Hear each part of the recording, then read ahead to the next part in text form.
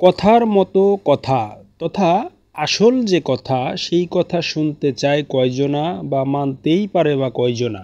যেমন ধরুন মগ্রন্থ কোরআনের সোরা আনামের একশত এগারো এবং বারো নং আয়াতে মহান আল্লাহ পাক আমাদেরকে বলেছেন, আল্লাহর নৈকট্য লাভের ইচ্ছা তথা অবিরাম ইচ্ছা তৈরি না হলে মানুষ ইমানের কাজ করিতে কখনোই অগ্রসর হয় না।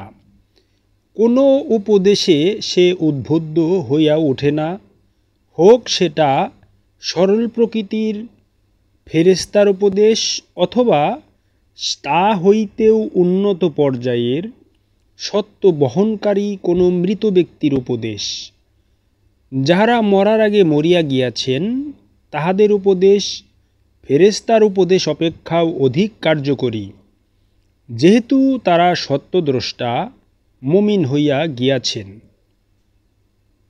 এই যে মহাগ্রন্থ কোরআনের যে কথাগুলো, আল্লাহর নৈকট্য লাভের যে অবিরাম ইচ্ছাটা, এই যে আল্লাহর নৈকট্য লাভের জন্য অবিরাম যে ইচ্ছা, এই ইচ্ছাটা আসলে আছে বা কয়জনের?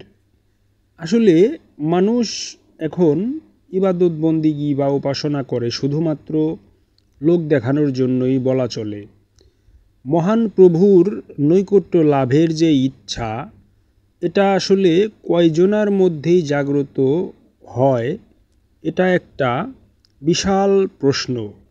আসলে মানুষের ইবাদত বন্দিগি উপাসনার মূলে রয়েছে লোক দেখানো অবিরাম ইচ্ছা। আল্লাহ পাকের বা মহান প্রভু বা স্রষ্টার নৈকট্য লাভের ইচ্ছা এখানে এক প্রকার নাই বললেই চলে।